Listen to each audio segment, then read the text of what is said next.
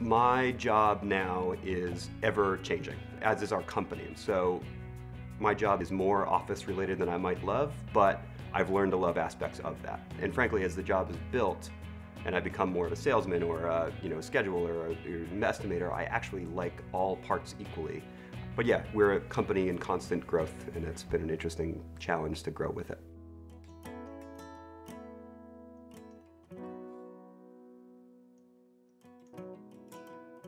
Homes that we build, we try pretty hard to work at all spectrums, but for the most part, we're building either super high energy efficient but affordable homes or super high energy efficient, super high end homes.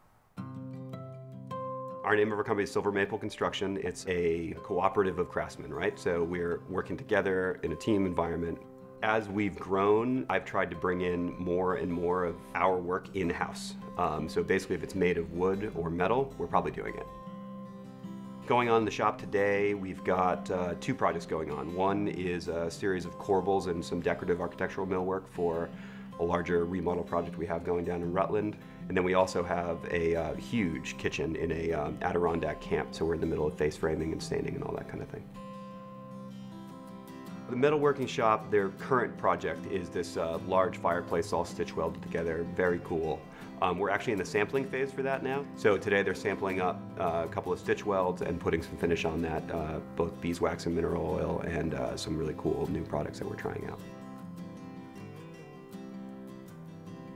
The hard truth is probably about two years ago. I just finally decided I'm not one of the lead carpenters on a job because that just didn't work anymore. Um, I couldn't be relied upon to be there every day the way a lead carpenter has to be to bring our quality to the table. I wasn't a businessman, I was a carpenter who ran a business, right? But it's starting to shift. That initial transition was hard. I work with a bunch of guys who also value craft, right? So to make that shift and not be one of them anymore necessarily was a little hard. So the job I'm going to take you guys today is a high-end residence on the lake.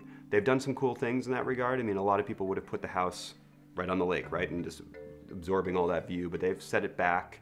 Um, the land is in land trust, uh, so there's going to be cattle grazing and that kind of thing eventually. But the house is fantastic. It's a modern farmhouse. Every detail is crisp and clean right through the framing. Uh, it's currently in the sheetrock phase, so we're getting towards being ready to trim this thing out.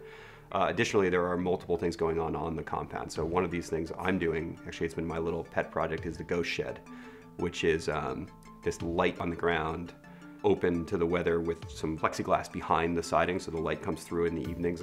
Um, it's going to double as boat storage stuff and uh, bunkhouse when it's actually summertime. I still have to get back out and get my hands dirty and do those things. I try to do it at least once a week just for my soul, right? I want to be out there swinging the hammer. I think it's really important from a perspective of keeping our culture alive, right? If I go from one job to the next to the next, work alongside the guys, you know, maybe have a beer after work with those guys. It's, like I said, I think it's important for me, but it's incredibly important for the company culture as well. I don't know if I have a particular piece of advice for that leap from the craftsman to the enterprise craftsman. The only advice I can really give, and it, it, touches on that relationship piece, you have to keep your company values intact for that growth, right? If you're just gonna grow to do more volume, that's not why any of us got into this, right? So we've been pretty careful to, again, increase our volume while not decreasing our quality. So in a lot of cases, we spend a ton of money to make sure that we're well tooled up and that we make connections with our guys every week. And it has to be this, has to be the same company on a larger scale. And if you lose that, I think you're sort of slated for failure, or at least slated for something you didn't really intend to get into in the beginning.